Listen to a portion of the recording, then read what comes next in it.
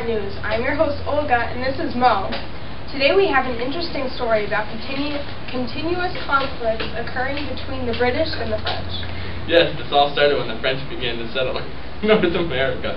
They started to expand their lands, which eventually collided with rapidly growing British Empire. France and Great Britain had already been in three wars in the 50 previous years. Each of these wars all began in Europe and spread to the Americas. Things became peaceful for a short period of time, but in 1754 conflict started to occur again. This happened when the French built Fort Duquesne, where they where the Allegheny and Monongahela rivers met each other in Ohio. The problem was the same exactly the same exact land has been granted to wealthy British planters along with 200,000 additional acres. This had been granted by Virginia. The governor of Virginia was extremely angered, extremely angered by this. In his anger, he sent a group of Minutemen to tell the French to evacuate the land. This band of men was led by George Washington, who established an outpost 60 miles from the French fort. The Minutemen attacked the French and took some prisoners, but as a reflex, the French counterattacked the British.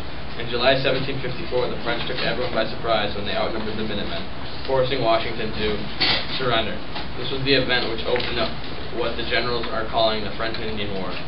A year after George Washington and his group of Minutemen were defeated, Washington headed into battle to aid Edward ba Braddock, who was attempting to drive the French out of Ohio. Braddock and 1,500 men marched to attack Fort Duquesne. While they were marching, they were ambushed by the Native Americans who were allied with the French. The British fled.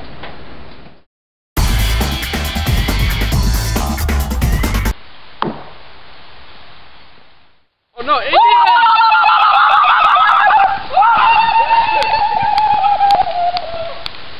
Victory! King George II was very upset by this. He selected William Pitt to help raise up a stronger army. Pitt's plans to assemble 50,000 soldiers in the 1759 war took a dramatic turn outside of Quebec. The British scaled the cliffs and took a surprise attack on the French. The British finally tasted victory. The Treaty of Paris ended the war in 1763. Under this treaty, there were territories divided which greatly favored the British because they won the war, and the French and native allies lost. Morning, and welcome back to, back to Bart News. Today we receive information about a movement taking place in the colonies. Since the Enlightenment, people have started to question the church because things were starting to be explained by science. Isn't that right, Mo? Yes, Olga. The church has started to weaken because of this. Many people started to act unchristian to one another. This inspired some to be a light in the darkness and spread the love of God. One man, Jonathan Edwards, who was a prominent member of the church, sought to revive the Puritans. In a sermon, he describes God's love and mercy. As a result of his powerful preaching, all different types of people started to attend church. Natives, Africans, and colonists alike they are all calling this movement the Great Awakening. Welcome back to Bart News. I'm Mo the Newsman. Oh, what's this? Breaking news. We have a live interview with our friend William Pitt. To you, Olga. Hello, and welcome to Bart News. I'm your host, Olga, we're so glad to have you here today, Mr. Pitt. Happy to be here, Olga. So tell us, what are you planning on doing exactly? Well, I have the vision to create the largest American army of all time so far, um, with 50,000 men. wow, that certainly sounds impressive. How did this opportunity come about? It's all thanks to King George II. Um, 1757, he replaced me with George Washington. And how is that going for you? Well, I believe I'm the only one who can actually, you know, dig us out of this hole after the past few years. Um, the war with the friends. Wow. Well, that sounds like a wonderful plan. How confident are you in your success? I'm very optimistic, um, because my hopes are high. Wow. Well, I wish you the best of luck. Now, we'll be right back. We're going to have a quick commercial break. Does duct tape really work? I believe so, yes. No. Could it hold me up against this wall? I know for a fact that it could. Alright. We'll try it.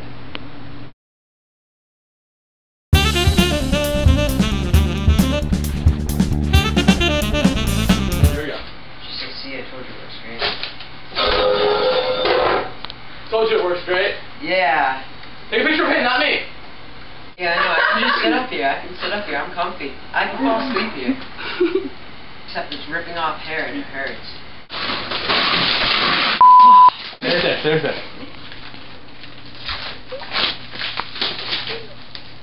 Doherty said it wouldn't work.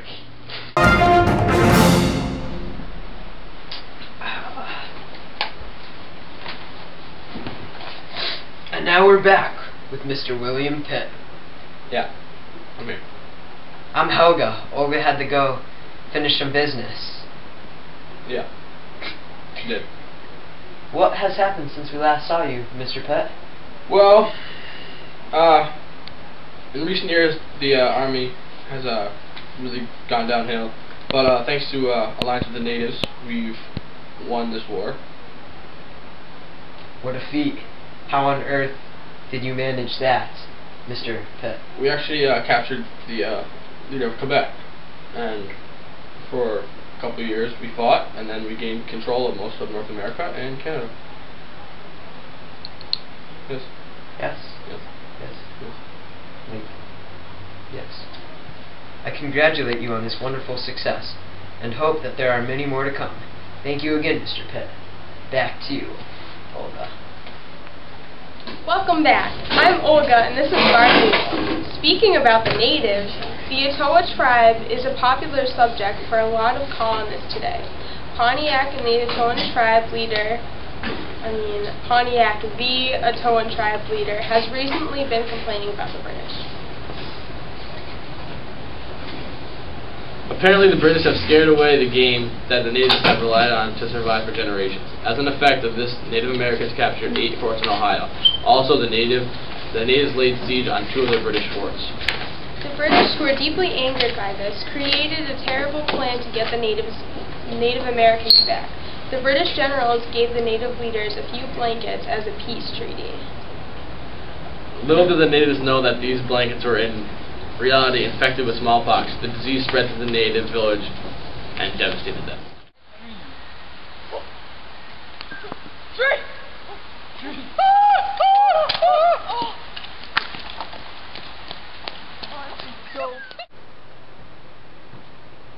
British bring you blankets as a peace offering.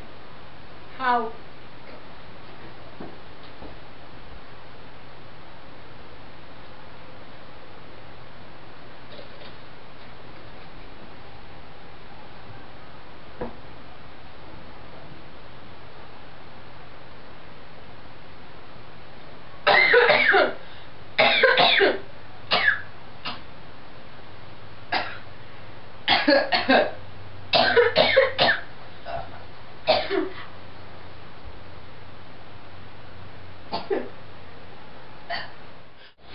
By 1763, the natives were completely weakened by the disease and wounded from fighting. They had no choice but to make a peace treaty with the British. The British forbid any settlements west of the Appalachian Mountains in the proclamation of 1763. This agreement angered the colonists because they wished to expand their land as far as they could. Instead, they expanded their land illegally because there's no law enforcement um, from the government's law. As a result of this, Pontiac was deeply angered and made a speech to unite his tribe and inspire them to keep fighting against It's the not British. here doesn't mean it's not on. Let's go live on the scene. Yeah.